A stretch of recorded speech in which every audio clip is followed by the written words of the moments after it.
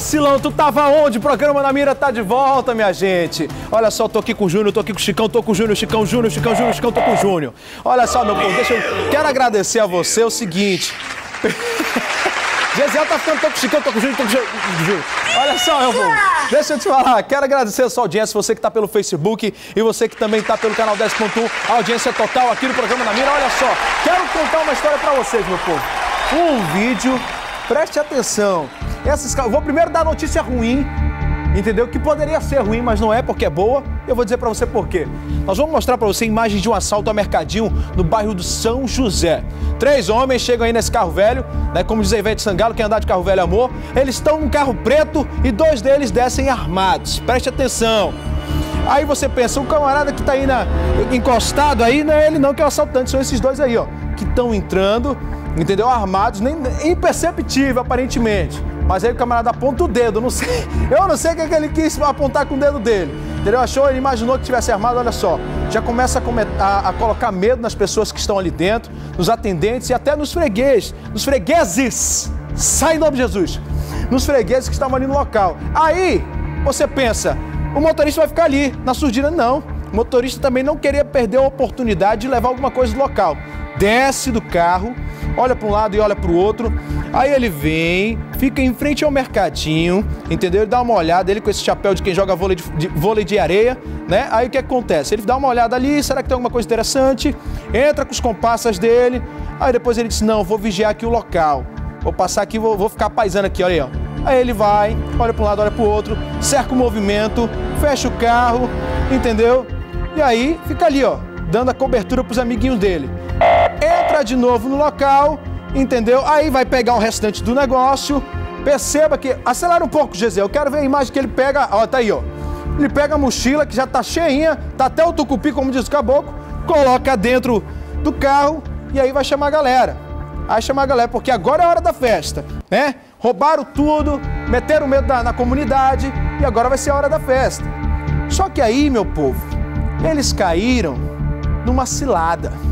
Entendeu? Em vez de ele pegar e ir embora, como um bandido esperto faz, aí como eles são abestalhados, foram pegos pelos policiais do nono Distrito Integrado de Polícia, que é o distrito do meu amigo Pablo Giovanni, que está comigo por telefone e vai conversar com a gente. Bom dia, delegado. Bom dia, meu amigo Luiz. Bom dia a todos os telespectadores do programa Na Mira. Eles não imaginavam que a equipe de investigação do nono DIP e estava ali prontas, prontos para fechar o cerco para esses camaradas, né? É, exatamente. É, ocorreu esse roubo no dia 16 de janeiro, por volta de sete e meia da noite. A vítima procurou a nossa equipe de investigação dias depois, apresentou as imagens e a nossa equipe, em posse das imagens, imediat, imediatamente nós conseguimos já identificar o Gleison Carvalho da Silva, o vulgo Silway, nas imagens, ele é o segundo a, adentrar o mercadinho. Primeiramente entra o, o Daniel, vulgo rato, em posse de uma arma de fogo. Depois entra o Gleison Carvalho da Silva, vulgo Silway, 24 anos. Esse que nossa equipe já havia aprendido em outra ocasião.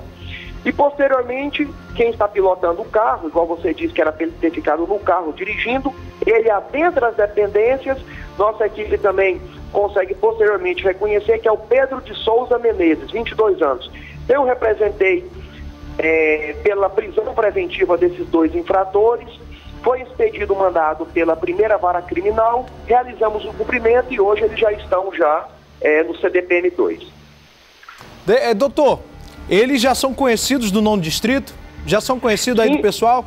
Sim, sim, sim. O Gleison já é conhecido já da nossa equipe, porque ele já havia sido preso em outra ocasião pela nossa equipe aqui do nono distrito policial também, por assalto. A, a especialidade dele é assalto. Agora, doutor, me deu uma notícia boa. Eles vão descer direto para a penitenciária ou ainda vão passar pela audiência? Não, não, a notícia é boa. O Gleison e o Pedro, eles já estão no CDPM 2, em razão do meu mandado de prisão preventiva, eles não passam por audiência de custódia, é, é cadeia direto. Tá ok, então, delegado, obrigado aí pela, pela participação. A gente sabe que o senhor é muito operante, sempre aí cheio de, de ocorrências, né? Parceria com o Namira. A gente está aqui pronto para divulgar o trabalho do nono Distrito Integrado de Polícia e dos outros DIPs também. Quem quiser, a gente está aqui ó, com o programa disponível para mostrar o trabalho da polícia que está sim operante na nossa Manaus e no nosso Amazonas. Obrigado, doutor. Ok, obrigado Luiz e todos os telespectadores, um bom dia também. Então, meu povo, a notícia é boa, Ricardinho! A notícia é boa, coloca aí aquela música bacana, que agora eu quero ver, quero ver o Chicano pegar, quero ver o Júlio, eu quero ver, quero ver. Meu povo, estão atrás das grades, minha gente. Eu disse pra você que tinha uma notícia ruim, que parecia que ia ser ruim, mas aí é boa, meu amigo. É boa, meu amigo. É bom, os camaradas vão descer direto pra penitenciária. Coloca a cara da bandidagem aqui, coloca a cara da bandidagem. Tira aí, tira esse VT. Isso daí é o tia. Esse daqui. Junho, vem cá. Safado. Mostra a cara desse safado aqui. Mostra a cara. Bigodinho fininho, cabelinho na régua. Não, esse daí não. Esse daí vai direto pra penitenciária. Já está lá, meu povo. Já está lá. Mostra a cara do outro, mostra a cara do outro. Mostra a cara do outro, do outro felizado, do outro felizado. Olha só, carinha de tristinho, né, meu amigo? Gente É, boa. foi assim que ficou a cara do- das pessoas que você assaltou, seu maldito. Agora você vai direto. Olha, até ele concordou. A vontade de dar um, dar um jab de direita aqui. A vontade de dar um jab de direita aqui no camarada. Olha só a cara do safado. É, meu amigo. Ficou tristinho, né? Ficou tristinho? Vai passar a Páscoa na, na prisão? Vai? Vai, vai passar a Páscoa na prisão. Poderia estar em casa? Poderia, se estivesse estudando, estivesse trabalhando. Mas vai passar onde? Na prisão. Acabou pra você, meu amigo. Olha só, quero agradecer sua audiência, você que está nos assistindo pelo Facebook e também pelo canal 10.1. Eu vou chamar o Valdir aqui, porque o Valdir vai falar. Tem foragido desse caso? Daniel, tem a cara dele aí? Não tem? Ah, mas a gente vai atrás, vai divulgar aqui pra você, pra que você possa denunciar. Valdir, tem notícia do interior aí pra ti, meu amigo. É contigo, hein? Então a notícia é boa ou é ruim? Então vamos lá. Militares da PM seriam chefe da quadrilha que roubaram a agência bancária em Parintins. Se foram presos, a notícia é boa. Infelizmente, são policiais. Mas coloca aqui na tela, dona Mira. Bom dia, Luiz. Bom dia, Valdir. Bom dia, você em casa. Bom dia, parintinenses que estão aguardando as informações aqui da terceira Delegacia Interativa de Polícia. Valdir e Luiz, o caso do arrombamento de uma agência bancária aqui em Parintins, no centro da cidade, toma um novo rumo com o envolvimento de dois oficiais da Polícia Militar.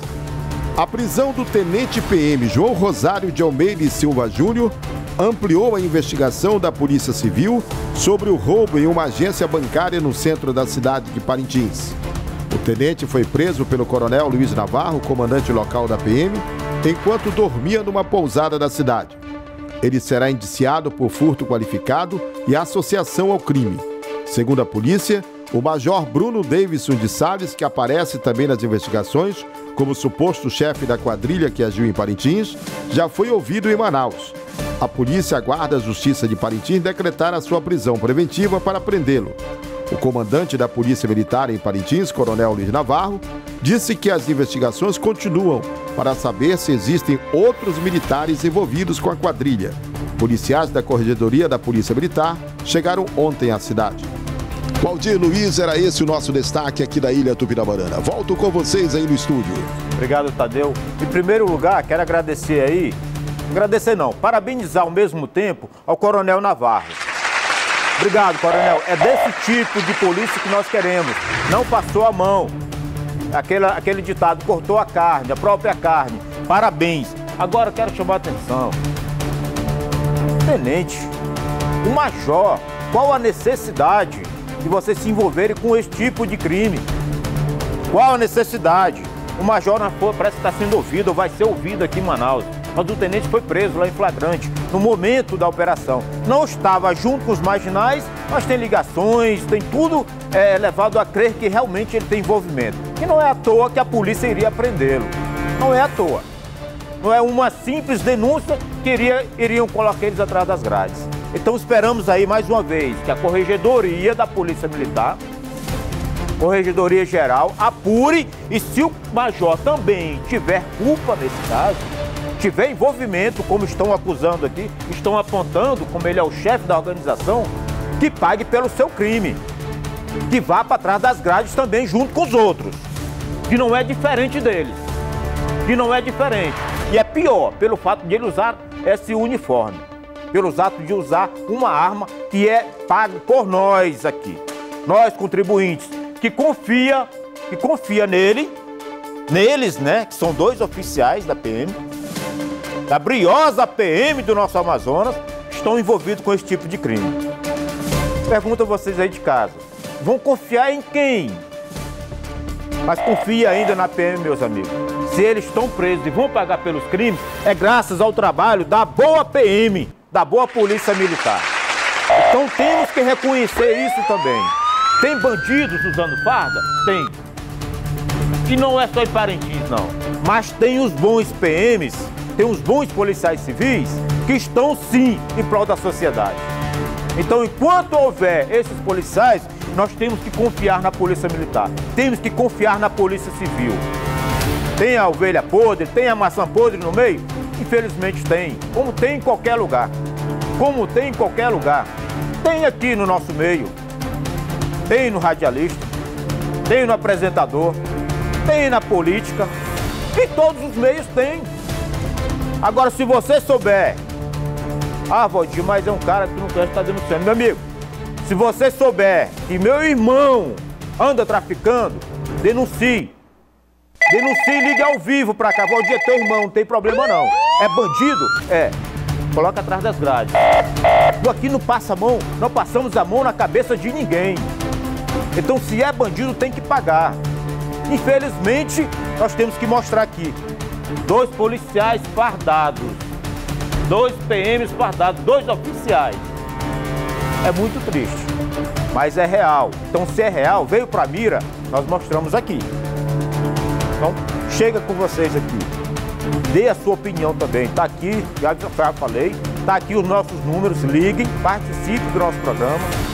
Quero chamar o Luiz também para acompanhar esse caso.